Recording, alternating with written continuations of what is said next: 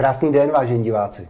Já vás dneska vítám u dalšího rozhovoru a my jsme už tady začali eh, s naším temperamentním hostem, tak já vítám ve studiu Jardu Greenwalda. Ahoj. Ahoj, já moc děkuji za pozvání. Eh, my jsme tady načli spoustu témat a eh, dneska ten rozhovor, člověče, poslední téma, které jsme načli, to tím bychom možná mohli začít.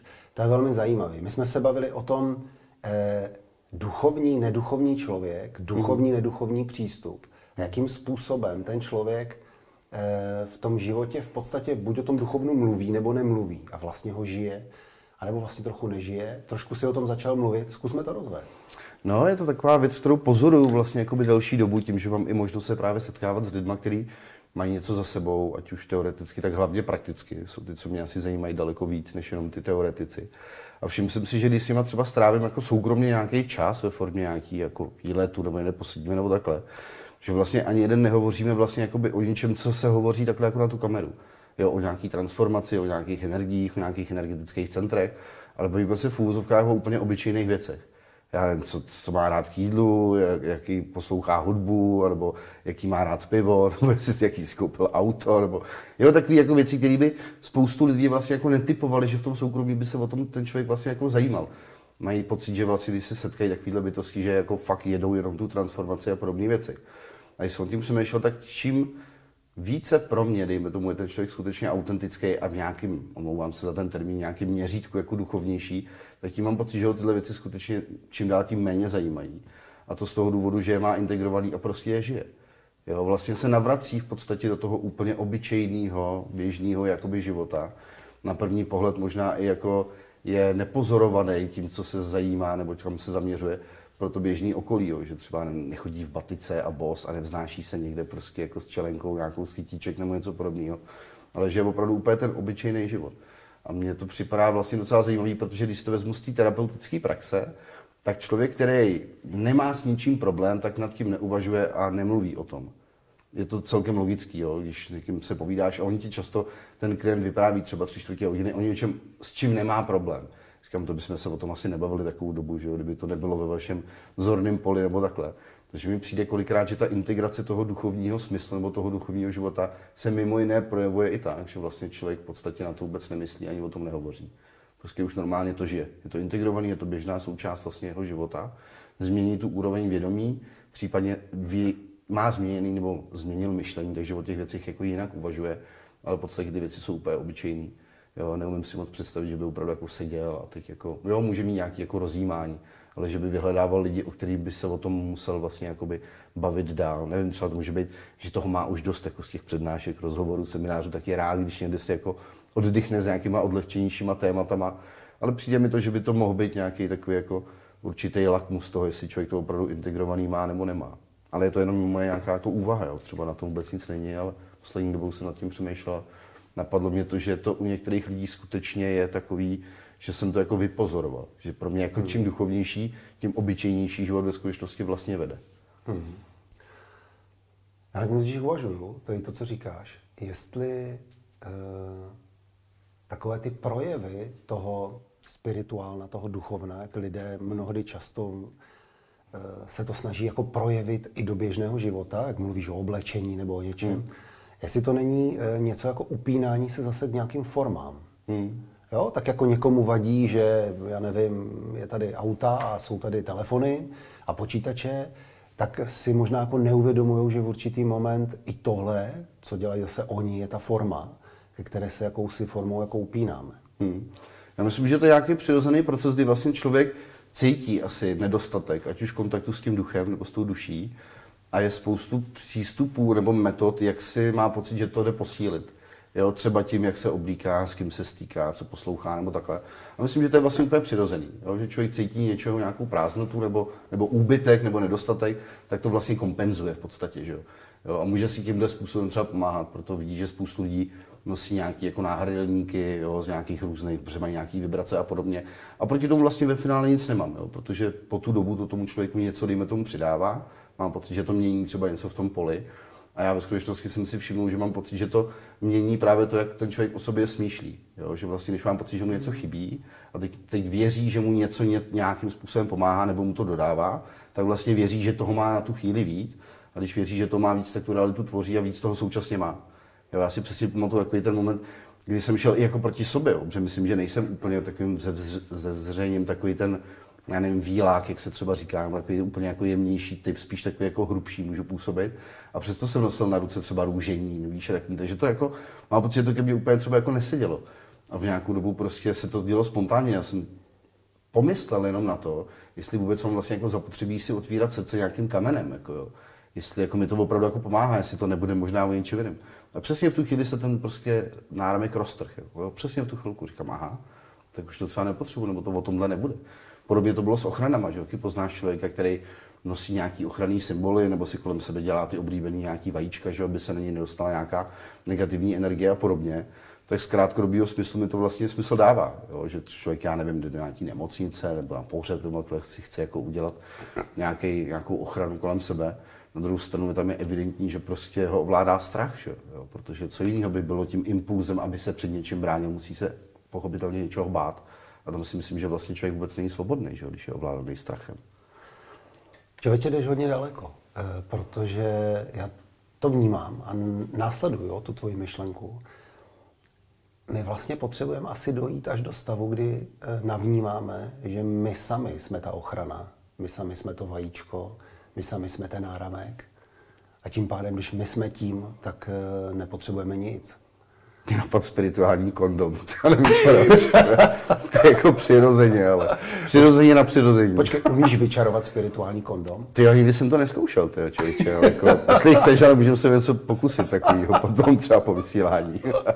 Ale myslím si, že asi nebude úplně potřeba, ne? Já si myslím, že vlastně je to i do té míry... Počkej, počkej, aby potom k tobě nechodili lidé, eh, třeba ženy na terapii a budou říkat, že chtějí pro muže vyčarovat ten spirituální kondom.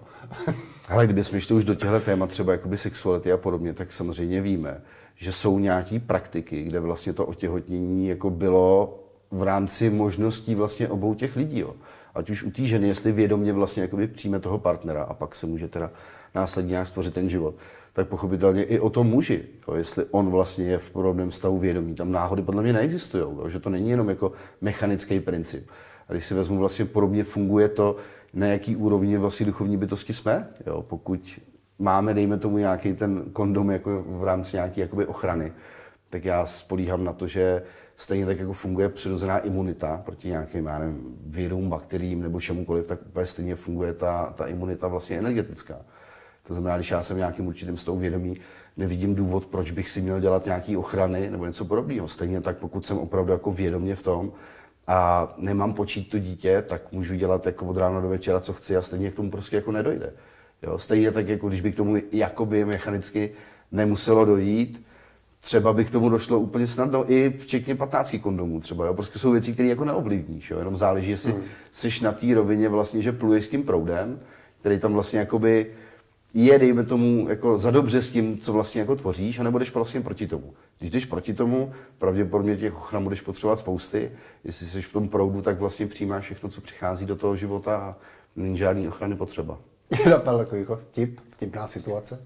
jak, jak jdou ti dva spolu, víš, jakože teď, jak jsi mi to při připomněl, jak se půjdou ti dva, kteří jsou jako spirituálně orientovaní a, a on říká, buď jako v pohodě, mám s sebou dneska spirituální kondom. Já jsem si zase lek, že se dostaneme k tématu jako neposkvrněného početí, jo, protože to tam chvilku jako se nabízelo, že by to šlo i bez té jako mechanické částky. Tam si myslím, že jako úplně asi ne, nebo ne, jak u koho, jo, že se jo. jako podívám a žena otěhotní, nevím, až tak daleko ještě nejsme, teda. nebo já teda určitě ne. Víš, já se možná uh, vrátím z téhleté, z téhleté Pojďme zpátky. protože to, tohle by se dalo rozvíjet, víš. Uh, já se vrátím k tomu úplně běžnému životu, jo, protože to je fascinující. Já mám jako velmi, velmi podobný jako věm z vlastního života, že uh, jak ty vnímáš, co je, co je pro tebe teda duchovní život, v, v, když do toho zahrnu ten běžný život, jo? Mm. Já si myslím, že opravdu úplně všechno. Jo, já vím, že to budu asi zjednodušovat, že to nebude přímo jako odpověď, kterou by si možná očekával, nebo nějaký vysvětlení toho. Ale pro mě už jenom samotné rozdělení na něco duchovního a neduchovního z principu úplně nesmysl. Mm-hmm. Jo, protože duchovní z podstaty je tady úplně vše. Ale jako naprosto, jo, včetně hrníčků, včetně tvých bílých, včetně mých trenek, ponožek, prostě všechno. Tady má jakoby duchovní základ. Jo. Z toho ducha to vychází, ten duch to v podstatě tvoří a tvoří to bez výjimky. Takže vlastně jako snažit se o to být, duch, být duchovním člověkem je vlastně skrze jako cokoliv, nějaký myšlenkový koncepty ve finále úplně nesmysl. Jo, nejde tím nebýt. Jo, to prostě není možné. Takže to rozdělení je takový vlastně už samo o sobě vlastně nesmyslný. Mm. Jo, popírá samo sebe.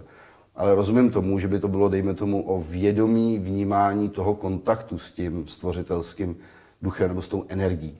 Jo, že to může být u některého člověka, dejme tomu, intenzivnější, nebo že v to věří, někdo to třeba žije. To bych tam asi vnímal jako nějaký, dejme tomu, rozdělení, to vnímání toho, z čeho všeho to jako vychází. Jestli to mám buď na principy, že to popírám, nebo to mám na principu tomu, že z nějakých důsledků nebo nějakých věcí, co jsem v životě prožil, takže tomu věřím. A potom takový ten jako nejtvrdší, nejtvrdší rovina, to je, že to prostě vím. Jo, tam prostě jako to nejde ničím spochybnit. Já mám tu výhodu, pro někoho nevýhodu, že jsem prožil spoustu tady těch situací měnící stavy vědomí, ať už přirozeně, ať už za pomocí čehokoliv nebo takhle. Takže v mém případě momentálně, neříkám, že se věci nemůžou mm, jako měnit do budoucna, ale momentálně to je tak, že mě nikdo nedokáže přesvědčit o tom, že to je nějaký jinak, než jak to vím, že to je. Protože to jsou věci, které jsou prožitý, jsou prožitý roky a je to, jako bys mě přesvědčoval o tom, jestli tvoje tričko je bílý a moje černý a tvrdil bys nějaký opaky. Třeba to tak je, třeba někdo v tom spektru to vnímá jako jinak. Ale já momentálně jsem přesvědčený, ať si tam vždycky nechám ty zadní vrátka, co kdyby, jo, to mi přijde hodně bezpečný pro spoustu lidí, aby tam měli takový to, zatím to tak je, ale nevíme, jestli to tak jako nadále bude, tak pro mě to je prostě jako fakt, no. že jako jsme duchovní, všichni bez výjimky, naprosto všechno, co se v tomhle prostoru děje, anebo potkáváme, má duchovní podstatu a co nám to líbí nebo ne. Protože kolikrát je to i v těch extrémech, kde my tu spiritualitu odmítáme vlastně jako vidět.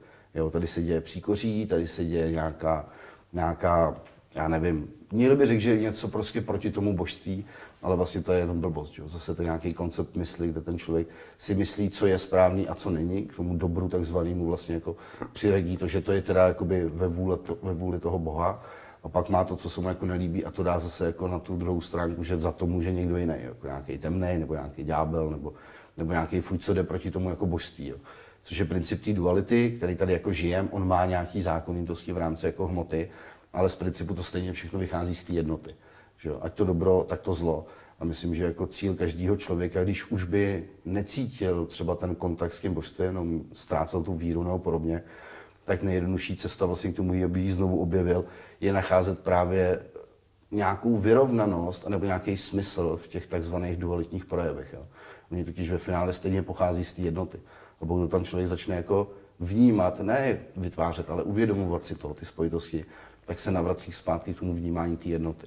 Pak nerozděluje a pak bych to řekl, že to může být přesun do toho vědomí té jednoty.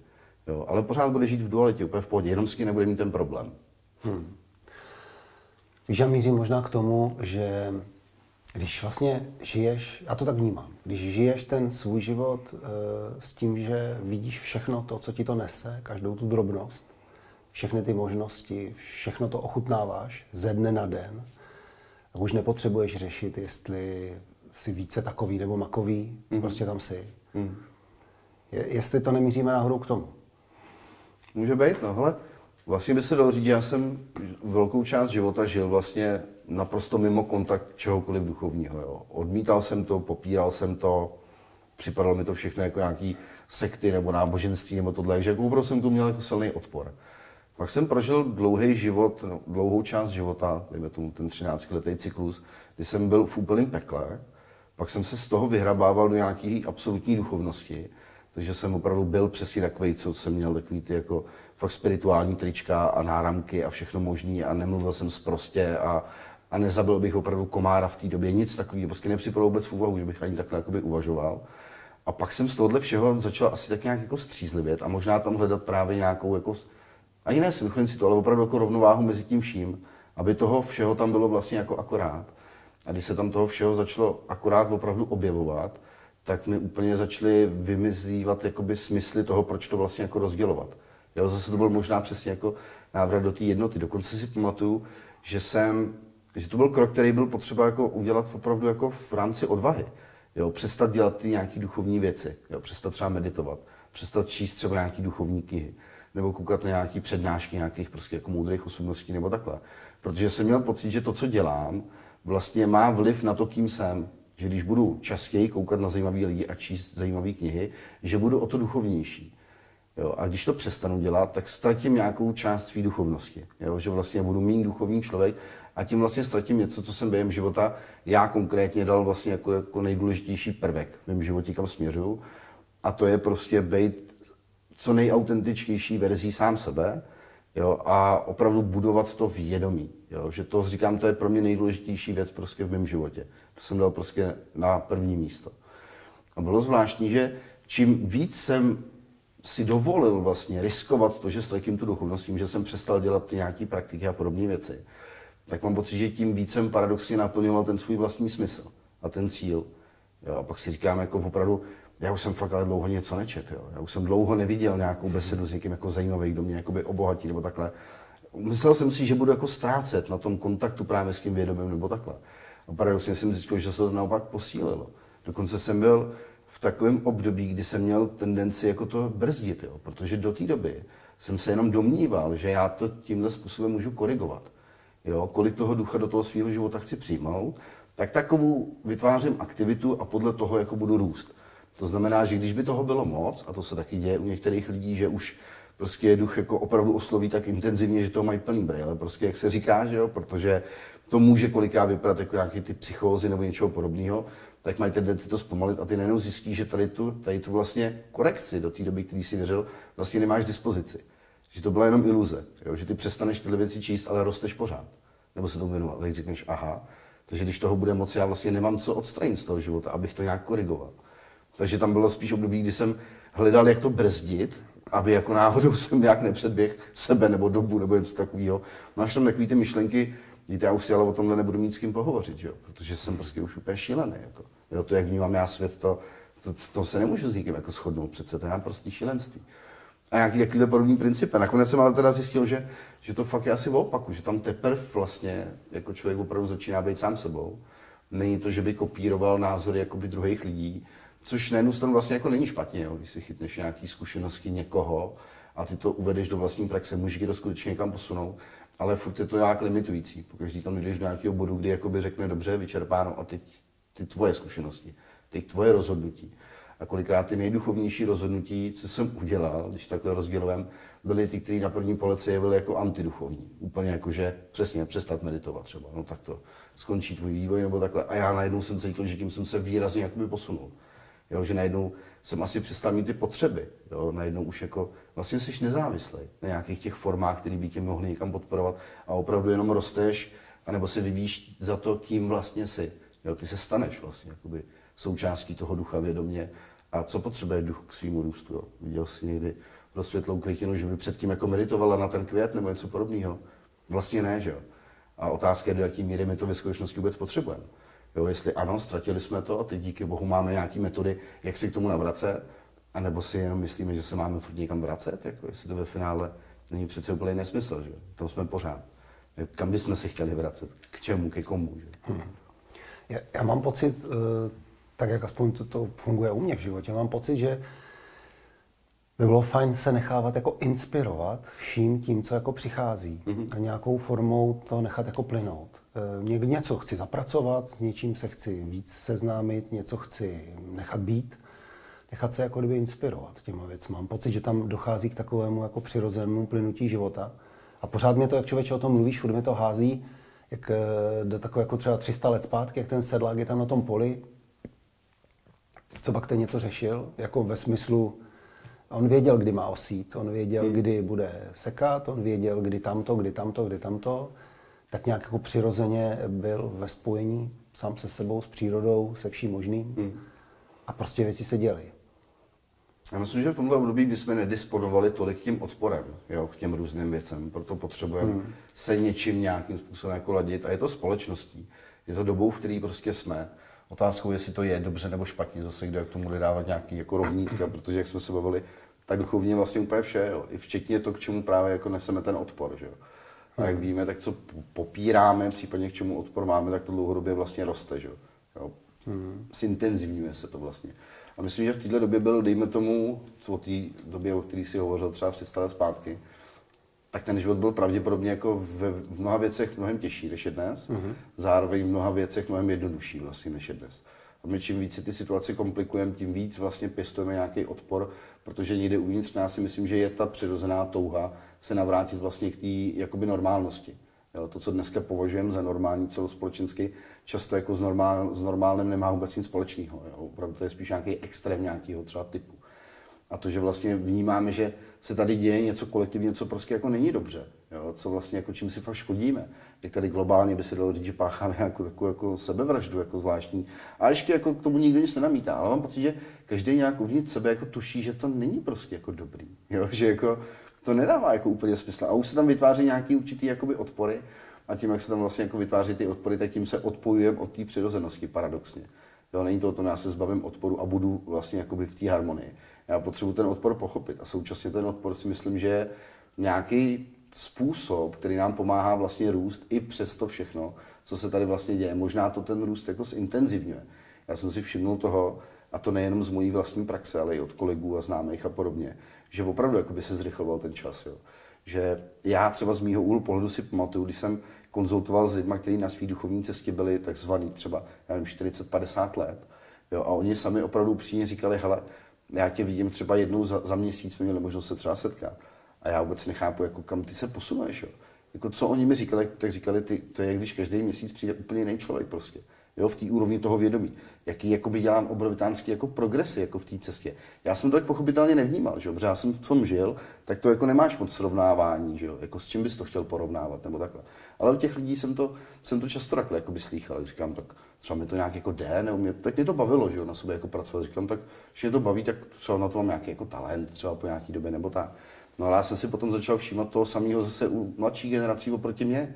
Jo, ne, že bych byl nějaký jako, jako jak to říct, mudrc jako v rámci jako věku nebo takhle, ale jsou prostě už jsem zase generace, jakoby, která předtím tady vlastně, jsem prostě ten táta a já vidím zase ty mladší jakoby přede mnou v tom období, kdy jsem začínal, tak a vlastně konstatuju úplně to samé. Já řeknu, hele, já jsem tohle integroval, já nevím, třeba tři čtvrtě roku nebo dva roky mi třeba trvalo tohle téma, abych ho nejdřív vůbec pochopil, pak abych ho vůbec nějak uchopil, pak abych ho dokázal uvízt do té praxe a pak abych ho vlastně integroval, takže se to stalo úplně běžnou součástí vlastně mě jako takového. A ten člověk to opravdu je schopen ty udělat třeba během několika dnů nebo týdnů. A říkám, ty, jak je tohle možný, jo? Takže asi nějaká ta, ta, ta, ten progres vlastně jako té společnosti, který na jednu stranu se může jevit jako negativně, vlastně přispívá k tomu růstu jako takovému. Jo, problém je, že ten duch prostě vyžaduje tu zodpovědnost. Když ty nabýváš nějaký moci, tak současně s tím bys potřeboval, anebo máš uchopovat i zodpovědnost za tu moc, kterou máš. Že?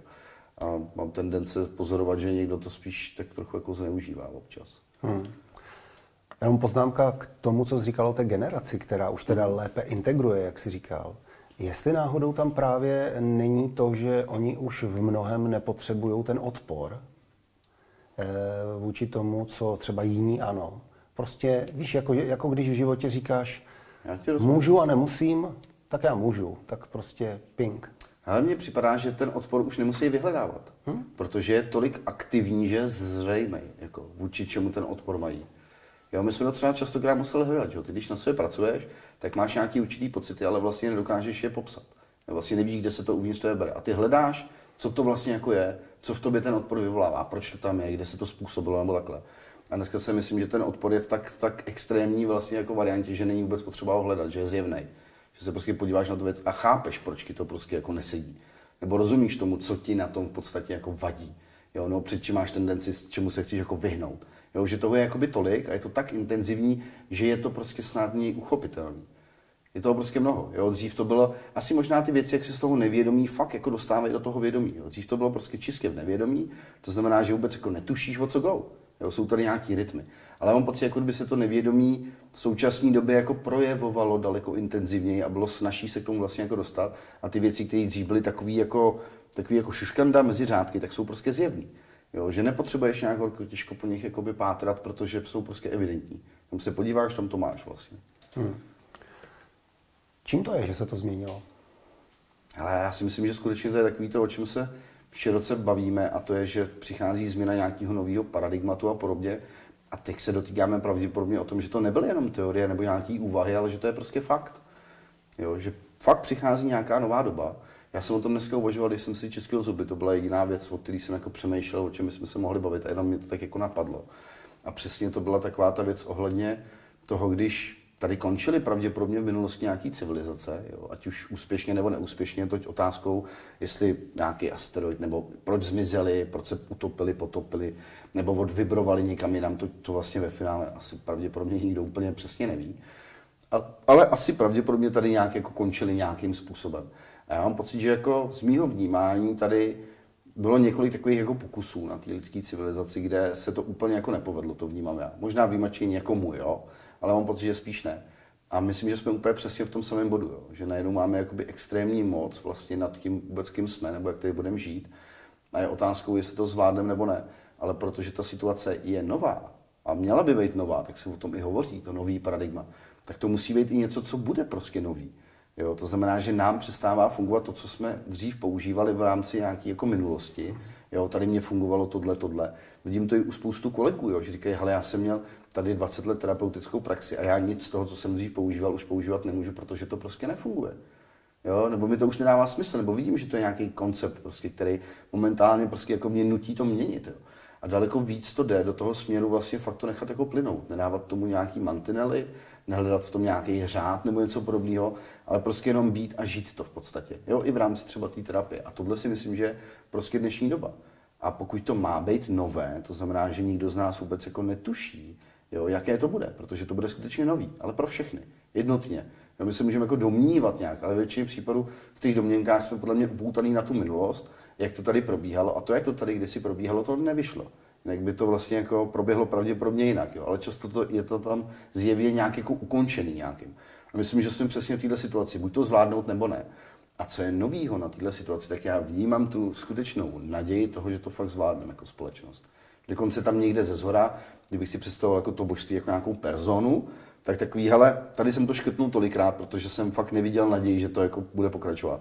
A tady, ať to vypadá jako nejšíleněji, tam tady vypadá, že jo, tady by to mohlo se povíst, konečně, už. A mohli bychom tady žít třeba jako lidský bytosti na této planetě. A ne opět, jako se tady žilo dřív, ale úplně jiným a novým způsobem, u kterém ale nikdo vůbec nemá tušení. Proto mám pocit, že spousta lidí jsou z toho vlastně trošku jako zděšení, jo? že vlastně jako co bude. A teď upřímně řekni vlastně tak, jak to vnímáš. No já nevím, ale jako fakt nevím. Není tohle, co teď popisuješ, zase nějaká forma, kterou Určitě. nahlížíme na tom života? Určitě ano. To znamená, upínáme se jako lidé k tomu, že bylo hůř, teď bude líp, anebo že něco se musí měnit pro to, aby život dával smysl. Přesně tak. Přesně se přesně dotknul té změny, která probíhá.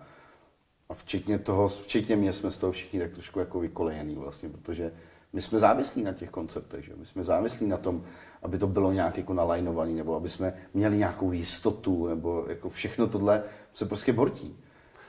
Víš, mě někdy připomíná, eh, mnohokrát jsem prožil takovou situaci s svojí vlastní, když prostě zavřeš oči a teď se na sebe podíváš eh, vnitřním zrakem a tak jako mnoho lidí hledá někde tam světlo v tunelu, někde kaby šli, to jako, jo, že tu hmm. cestu a jenom zjistíš, že ty svítíš. Ty si to světlo. Vlastně nemáš kam jít. Je, to je hezká představa. A no, dokonce to není úplně člověče ani představa. se... a, tak, a tak vlastně chci jenom dojít, promiň, jenom hmm. chci dojít k tomu, že co když to, co ty popisuješ jako změnou, jako něco, staré paradigma do nového, nějaké do jiného, jestli to nejsme jako my. A víš, jako, že eh, ono se vlastně nic nemění. Jasně. To je to, Jen my to, se více zvědujeme. To je přesně to, čím, čím jsme vlastně otvírali že jo, ten rozhovor. Jako. To je vlastně jako přesně ten návrat k té úplné přirozenosti. Je to tak, no. Mně se líbí třeba ten koncept, který mám, taky zase je to koncept, proto to tak popisu, který jsem ale prožil, jo. A to je, když člověk opravdu jako je úplně na dně, jako vysloveně na dně, uh-huh. tak skrz tu absolutní temnotu mu to světlo vyjde vstříc. A myslím, že to je to podobné, že buď ho zahlídne v sobě, když už ho jako nikde jinde vlastně jako nemůže najít, tak poslední, kam se nekouk, bylo ještě do sebe. Že? Mm-hmm. Tak, mhm. jako, tak proč bych to neskusil? Ale fakt je to úplně to poslední často. A nebo to je stejná podle mě ta symbolika, že z té naprostý temnotě ti to světlo vlastně přijde vstříc. A my jsme podle mě pravděpodobně přesně v této situaci jakoby celospolečenský. Mně se dokonce líbí, že jsem vypozoroval, že zatím platí to, že pravidla, které platí na tvůj individuální vývoj nebo tvůj život jako takový, tak jsou vypozorovatelní v rámci vyšších celků. jo, v rámci třeba skupin, potažmo národů, potažmo planety nebo vesmíru, nějaký určitý jako zákonitosti, které fungují tobě, čistě individuálně, tak těma se jde, dejme tomu, řídit v rámci jakoby celku.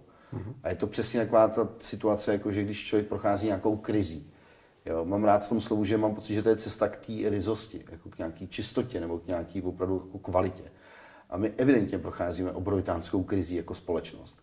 A přesně tam si myslím, že je ten moment, kdy z té absolutní temnoty nám to světlo podává ruku.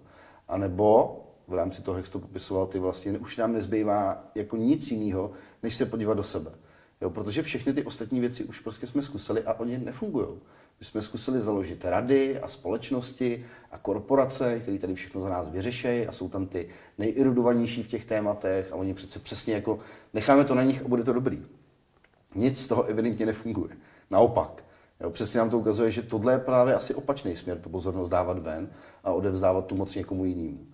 A asi poslední, co nám pravděpodobně zbývá, někdo na to přijde dřív nebo později, je právě otočit tu pozornost vlastně do sebe. A tam zahlídnout tu moc a to světlo. A to bude pravděpodobně tu společnost opravdu jako změnit. Protože pokud to funguje u jednotlivce, automaticky to může a musí fungovat, bych řekl, zákonitě i v tom celku. Otázkou je, že tady máme tu svobodnou vůli, takže tady nikdo není povinen se do toho nitra koukat.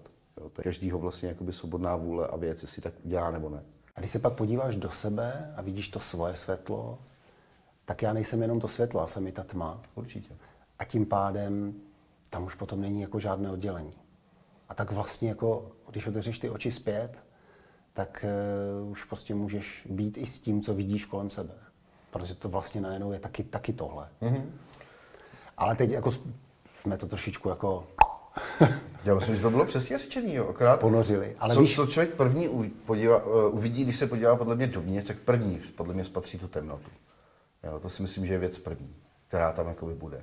A přes ní zase stejně, jako to vidí v tom okolním světě, může začít vnímat teprve to světlo. Pokud už není v té situaci, že, je tím temnotou, že tou temnotou vlastně jakoby pohlcený. Ale dneska máme i tu výhodu, že do té temnoty ty se nemusíš nechat docpat, nebo na to dno. Protože to už tady prožilo takových lidí, že to je podle mě obsažený v tom kolektivním poli, že ty už máš možnost si nenabíjet tu hubu, jako to dělali ty lidi před tebou. Jakoby v tom kolektivním poli bylo to poučení, byla tam ta zkušenost a ty už si v podstatě můžeš šáhnout jenom pro ten výsledek a vlastně proto nemusíš nic dělat. Jo, to je takový jako, vím, že spoustu lidí jsou na to jako hákliví, jasně, že si sednu na zadek a bude. Vlastně jo, jo, jenom se zamyslete, do jaký míry vy si to dokážete jako dovolit, že by to bylo možné, že vy vytváříte tu realitu. Hmm. A ve vaší realitě, pokud potřebujete si jako svícení promeditovávat 15 let fašrámů, tak prosím. Jo, ale jsou tady lidi, kteří prostě jsou možná natolik šílení, že si řeknou, hele, ale já můžu být osvícený, protože se pro to jenom jako rozhodnu. A jsou lidi, u kterých to fakt funguje. A to je tady nový, si myslím. Jo, a pak zase to bude něco, co bude úplně zastaralý koncept, který už zase nefunguje a budeme ho opouštět jo. a směřovat jinam. Že?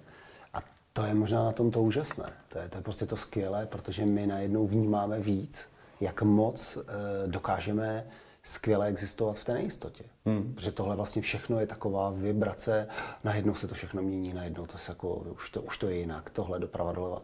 Tak najednou vlastně zjistíme, že ta nejistota je nám v tom vlastně jako, tak jako dobře. Mohla ono na pár věcí se, nebo takhle, na málo co se dá vlastně jako vsázet, jo? jako na nějakou pravdu, nebo nějaký fakta, nebo jistoty. Ale myslím, že zrovna jako máme jistou tu nejistotu, to si myslím, že tím si můžeme být jistý. Jo?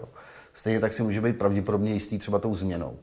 Jo, myslím, že změna je něco, co vlastně vystihuje vůbec jako život jako takový. Že to je jako nějaká danost, na kterou se dá vlastně jako vsadit. A ta nejistota, já tam vnímám vlastně přesně to podobné. Když se naladíš na tu nejistotu, tak vlastně jsi v proudu té neustálé změny, takže se vlastně na nic už jenom logicky vlastně jako neupínáš, jo? protože víš, že nic není stále, že všechno je vlastně jakoby prozatímní a v nějakém jakoby proudu. Takže vlastně žiješ neustále v, jisto- v nejistotě a to tě tak nějak jako ujišťuje a jsi v klidu. No. Takový paradoxy, no. Ano, protože já to vnímám teda úplně stejně, jak to povídáš, protože ve chvíli, kdy se opravdu na to naladíš hluboce, tak zjistíš, že už se na to nepotřebuješ ladit. Protože do té doby, dokud se na to snažíš naladit, tak vnímám, že je tam určitý jako stres, tak já se teda naladím na tu změnu, já se teda naladím na tu nejistotu. A ve chvíli se naladíš, tak najednou zjistíš, že vlastně jako přichází obrovský klid. No, je to jako, seš ta změna, že jo? Je to je přesně ten příklad jako do toho fyzického těla. Zkus se teď začít neměnit, jako. Jo, takže přestaneme dýchat, přestaneme existovat v podstatě. Jako. Jo, to je jako když se chceš přestat měnit a stejně s to nepovede. Jo, protože to tělo to vlastně dělá jako za tebe. A když se podíváme přesně na ten paradox, jak lidi touží po změně, přitom změnou jsou. Jo, ale hledají to právě venku velice často. Že? Hmm. Jo, já bych se chtěl změnit, říkám, jak se chcete, jako, jak, uvědomte si, jak kdy jste uvěřili tomu, že se neměníte. Jako.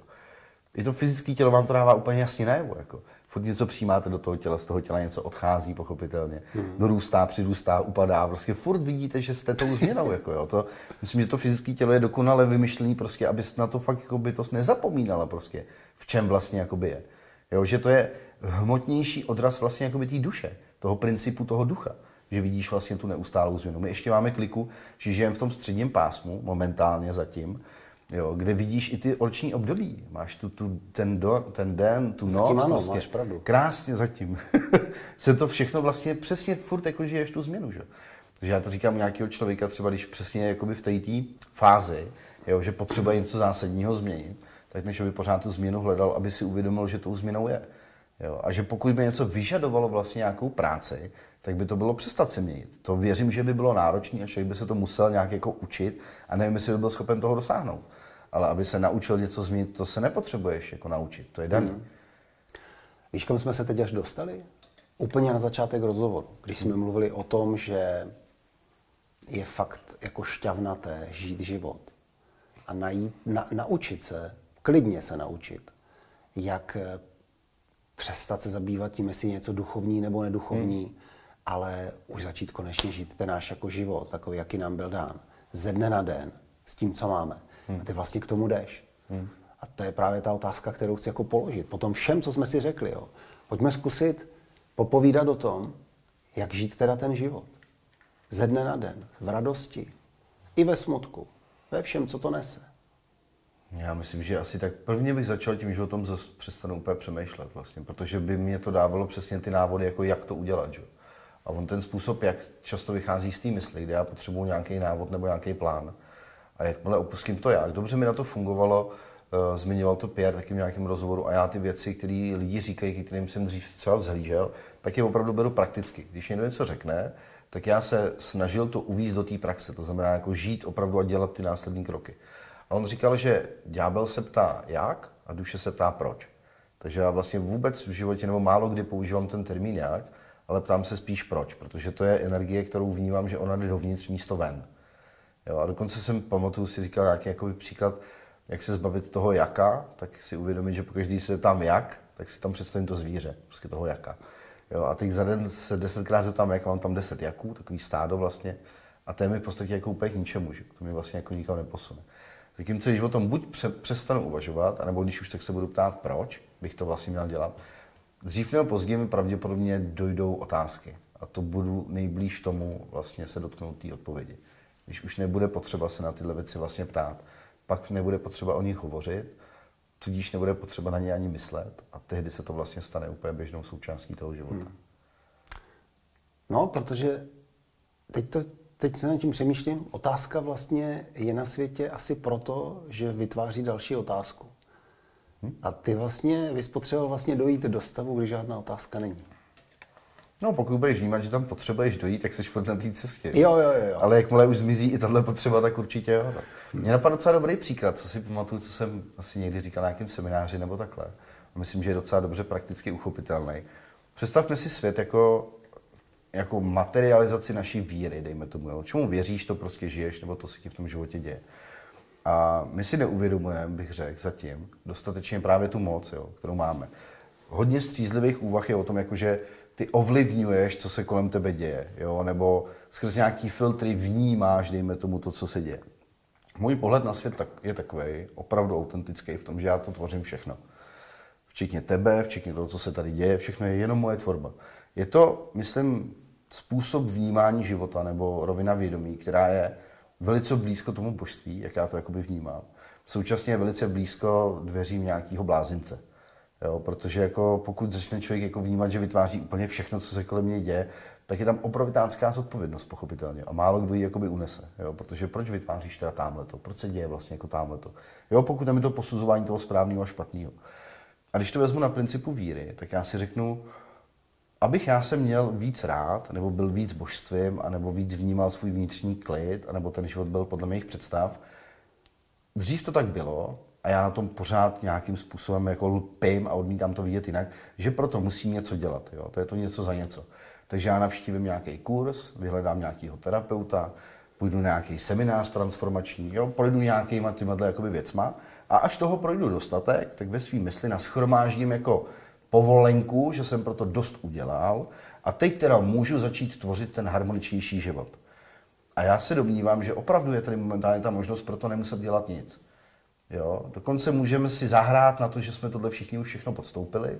Jo? Představte si ty vy svýho nějakého oblíbeného terapeuta, konzultanta, guru a svatou knihu, knihovna Vatikánu, Akášu, co chcete. Jo? A že už je potom, co potřebujete k tomu svýmu osvícení. Už jste všechno přečetli, už jste se všema hovořili, už vám všichni pomohli, všichni průvodci vás posunuli, kam jste potřebovali, všichni čekli se doladili, jak měli. Jo, teď je to. A pak byste se cítili jak? Pak byste žili jaký život? Jak byste ho vnímali, kdybyste tohle všechno měli už jakoby za sebou? A mám momentálně jakoby fakt, fakt tu úroveň toho, že mám pocit, že je možné tohle všechno právě jakoby přeskočit. Jo? Jenom si to rovnou jako dovolit. Takový to, mám za sebou pět terapií, to už bych se mohla mít ráda, že jo? jo tak začnu teda, jo. A tak začněte i bez těch terapií, úplně v pohodě, že jo? To je úplně v klidu. Mám, mám tu zkušenost, že to opravdu jako jde. Neříkám, že úplně každému, ale to je zase další koncept, že jo? zase další program toho. Ono to není úplně pro všechny, to se vám to říká, bla, bla, bla, bla. Ale to jsou všechno jenom, jenom vlastně strachy v hlavě. Jo? Tak kdo, kdo je teda tím skutečným tvůrcem tvého života? No já. Ty. Vždy. To znamená, že ať se v tvém prostředí asi ozývá kdokoliv, nebo jakýkoliv hlas, tak ty jsi ten, který rozhodne o tom, co jestli posloucháš nebo neposloucháš a jestli a co si z toho bereš a co to znamená, přesně jak to říkáš. Je to tak. Problém je, že vlastně tohle všechno, kde to považujeme za nějakou jako situaci, na kterou se můžeme jako spolehnout, nebo dejme to na tu pravdu, jo? vezmeme to na tu pravdu. Všechno, co se dozví, že je ve skutečnosti pravda, tak má nějakou svoji výjimku. Já to řeknu třeba na tajemství. Jo. Mně připadá tajemství dobrý příklad. Jo. Vesmír obsahuje tajemství. Zcela zjevně si myslím. Jo. Pokud já odhalím všechny tajemství vesmíru, já ten vesmír obohatím nebo ochudím? Ochudím, protože zmizí tajemství. A podobně to je s tou pravdou. Jo? Jsou tam určitý typy jako výjimek nebo paradoxů, který vyvracejí to, co kdykoliv řekneš, ale zároveň ti to tím potvrdí. Přesně jako já vytvářím kompletně celou realitu, jo? včetně tebe, včetně vlastně všeho, co se kolem mě děje. A i tak, ať jsem absolutním tvůrcem, můžu potkat něco, co jsem nestvořil. Protože je možné úplně vše v tomhle vesmíru. Jo, až tak je to paradoxní, ale tím to právě potvrzuje to, tu vše, všeho schopnost, to, to, že tady je opravdu možný úplně vše. Že dokonce tvůrce potká něco, co nestvořil. Aby to bylo skutečně to, že tvoříš a naprosto vše. Vše, včetně toho, co si nestvořil. Já vím, že to je paradox, že to vlastně jako nedává smysl. Ale většinou ty věci, které smysl nedávají, ty jdou opravdu jako za hranici toho myšlení a tam se dotýkáme něčeho, co bychom mohli považovat, dejme tomu, jako to duchovní. Jo, něco, co přesáhne ten rámec toho, že prostě zdravě rozum ti to fakt jako ne, nebere. Je rozdíl teda, jestli řekneš nějakou úplnou hovadinu, anebo pak něco, co máš nevysvětlitelného, ale potvrzeného opravdu tou praxí, že to tak je. Hmm. Jo, přesně, to, proto jsou ty, ty duchovní paradoxy. Jako jo. Máme svobodnou vůli? Pochopitelně, že ano. Že jo. Jo, je tady jako něco jako osud, jasně, všechno je předem dáno. Počkej, tak když je to předem dáno, tak máme svobodnou vůli? Jasně, že ji máme. Ale všechno je předem dáno. A teď vlastně to popírá samo sebe. Jo, a mně to nepřipadá, že by si to rozporovalo. Mně připadá, že to do sebe perfektně zapadá. No, určitě to do sebe zapadá, jenom je to velmi vtipné. Stvořitel, který všechno tvoří, hmm. tvoří i to, co nestvořil. Přesně tak. To je nádhera. Krásný paradox. Jo. Můžete nad tím meditovat pár dní a třeba vám to dojde. a zjistíte, že radši chcete jít do práce. Mm, nebo posekat trávu. nebo posekat trávu. nebo si jít na kafe. To je jedno, no. Protože jsou nějaký asi určitý jako hranice, jo, kam ten člověk dokáže opravdu až tím vědomím jako dosáhnout. Jo, nevím, je, je zajímavý, taky to bylo od Pěra, dneska ho už zmíním po několikátý, ale tohle mě jako opravdu bavilo, kdy on popisoval taky zase někoho jiného, myslím. Jak máš takový to, že přijdeš k tomu bodu jo, na té své cestě, kdy ti jako zcela jasně je naznačeno, že dál už nic není. Jo, že není vůbec jako v rámci tvých kompetencí vlastně ty hranice vlastně jako překračovat. Jo. A ty pokud jsi odvážný, tak, tak přece jenom jsi takový ten jako tvor zvídavý, tak ty hranice překročíš prostě. Jo. A jasně, že u každé hranice si koleduješ o ten blázinec prostě. Jo. Ať už, že tak budou označovat ostatní, dokonce si tak budeš sám o sobě smýšlet i ty. Jo, že už ti fakt asi hráblo, nebo jako ty, na čem to uvažuješ, čemu už to vůbec jako věříš, nebo takhle. Jo, a pak po nějaký době se to integruje, vlastně už si zase tak šíleně jako nepřipadáš, přijde jako, jako normální, že jo. Čím dál tím víc možná pozoruješ tu šílenost v ostatním světě, že to lidi tak nevidějí, ale co. A zase přejdeš další hranici, jo, kde to je úplně to samé.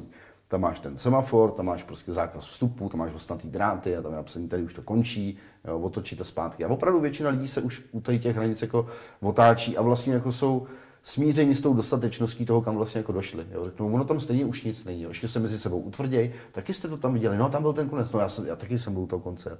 Ale jsou lidi, kteří i tohle vlastně jako překročí.